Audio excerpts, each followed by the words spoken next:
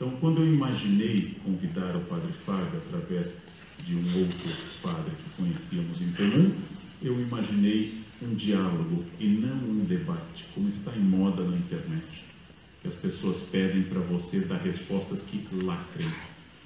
A minha vontade, a minha vontade é que nenhuma pergunta ou resposta que nós tivéssemos um para o outro lacrasse. Que ninguém terminasse o livro dizendo venci, derrotei, a minha posição é a melhor, eu tenho a chave, você não tem. A minha vontade é que ambos saíssemos, ainda com as nossas convicções, mas apresentando a nós e ao público uma clareza do porquê o Padre Fábio é um homem de fé e porque eu não sou uma pessoa de fé e porque o mundo tem espaço para essa convivência. E para minha alegria, eu tenho a narrar, antes de passar a palavra ao Padre Fábio, duas descobertas. Primeiro, algo que eu não disse a ele, mas contei no avião anteontem ao arcebispo de Cascavel, que veio ao meu lado e nós ficamos debatendo Nossa Senhora de Loreto, padroeira da aviação, em função da turbulência. E conversei com ele sobre o texto e ele me perguntou algumas coisas. Eu disse: Olha, Dom Bruno, uma das grandes descobertas desse livro é que eu imaginava, por não gozar da amizade anterior ao livro com o Padre Fábio e nem conhecê-lo pessoalmente, que eu encontraria uma personagem, como eu encontrei muitas na minha vida uma personagem. Dando um exemplo de um homem que me crismou no Rio Grande do Sul, Dom Vicente Scherer, arcebispo cardeal de Porto Alegre, ele era uma personagem. Esticava a mão para ser beijado, abençoava, saudava a multidão, como se estivesse como Evita Peron num... Dom Vicente era uma personagem e respeitável na sua, na sua fé e na sua erudição como personagem. E eu esperava do Padre Fábio uma personagem o padre mais amado do Brasil, com a Planeta o batizou, um gigantesco vendedor de músicas, um evangelizador através da música, muito conhecido. E a minha primeira grande descoberta desse livro, que se iniciou lá no Rio de Janeiro, foi ter encontrado uma pessoa e não uma personagem. Isso foi uma grande descoberta. Eu estava preparado para debater um roteiro uh, em que haveria posições, como numa dramatis personae, como a gente chama nas obras de Shakespeare, uma lista de personagens. E encontrei uma pessoa. Uma pessoa que, inclusive, estava na fala. Quando eu digo isso, é porque muitas vezes em bancas de doutorado, em palestras, em encontros acadêmicos, as pessoas estão falando sem estarem junto ao que falam. Elas separam, usar só uma frase difícil hoje, elas separam significado e significante. Elas não estão no local que elas enunciam. Elas dizem o que o outro quer ouvir. E por isso a nossa conversa foi tão amigável, porque desde o início havia duas posições antitéticas, opostas, mas não inimigas, apenas discordantes.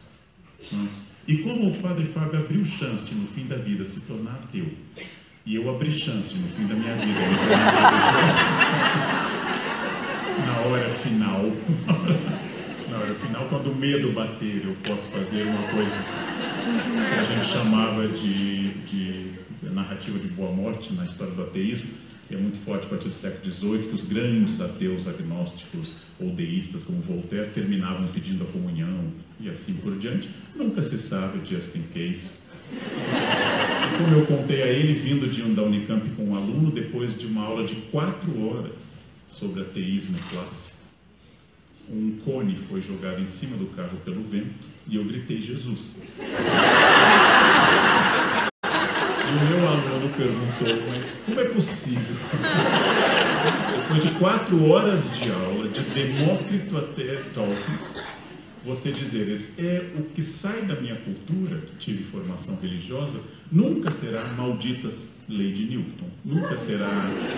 Quando cai uma coisa na minha frente, eu vou gritar como Lutero gritou quando um raio caiu ao seu lado, ele gritou Santana. Lutero gritou Santana, não criou eletricidade atraída entre os cátions e o ânions do Sol e da Lua. A ciência não é aquilo que faz parte da minha cultura na primeira informação. Então, a partir do meu substrato religioso que existe, do grande prazer que eu tenho de debater temas religiosos, Somou-se a isso o prazer de encontrar uma pessoa sem cena, sem aparência, sem uh, narrativa prévia. E isso foi muito bom. E a segunda foi realmente, a partir dessa experiência, olhar para o outro com um olhar que hoje eu considero um desafio para o Brasil. Entender que você é diferente de mim e que há espaço para nós dois. O Brasil hoje está com o discurso da exclusão.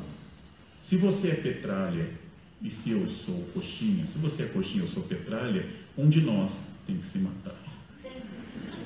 Se você é corintiano e eu palmeirense, se você, um de nós tem que ser excluído. Esse discurso de ódio autoalimentado, esse é um discurso que é muito ruim e tem riscos enormes na história, porque ele pode degenerar num choque ainda maior.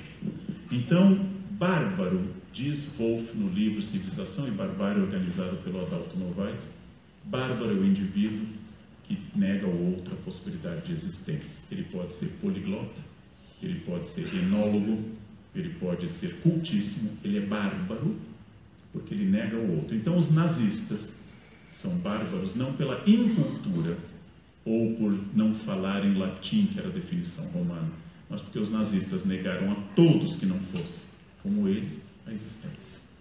E uma pessoa analfabeta pode não ser bárbara porque aceita a inclusão do outro. E esse, esse humanismo, que provavelmente deve muito à Igreja Católica e ao cristianismo, a parte que as pessoas compreenderam de Mateus 5, 6 e 7 do Sermão da Montanha, do núcleo duro do cristianismo, esse humanismo, uh, ele é essencial. Ele é essencial. E isso, hoje de manhã, falando na pós-graduação da Unicamp, uh, eu enfatizei exatamente isso. Como entender que o argumento do outro é bom, mas não é o seu argumento. E como promover um debate sem entrar na polêmica de lacrar o argumento do outro. E o grande prazer que eu tive foi que a nossa conversa, que gerou esse livro, que eu considero uma verdadeira missão para o Brasil desse momento, essa conversa com qual um ateu encerra o livro dizendo amém, eu encerro o livro dizendo amém, é uma característica de tentar entender que a diferença nos torna maiores, que a diferença nos torna distintos. Ontem, entregando o prêmio de uma revista na Sala São Paulo, e como havia grande quantidade de militantes de movimento negro, para nossa alegria, grande parte do debate foi sobre cabelo e a questão de assumir o cabelo afro, etc. Não é o tema sobre o qual eu tenha uh, a maior das questões, mas eu achei maravilhoso que se discuta a possibilidade de trabalhar com a diferença. A diferença que não infrinja a ética, diferença que não inclua violência, diferença que não seja racista, diferença que não seja agressiva, diferença que não desande para a violência, é uma diferença válida, inclusive na discordância. E esta foi a descoberta uh, que esse livro trouxe a descoberta de poder debater animadamente, com entusiasmo, divergindo e afetivamente, e a descoberta de encontrar alguém como o Padre Fábio, que eu passei a admirar agora, não apenas como a personagem pública brasileira, nacional e internacional que ele é, mas também como um homem absolutamente afável, inteligente e é afável. E é isso que eu queria dizer dos bastidores para vocês. Né? A Padre Fábio é muito legal.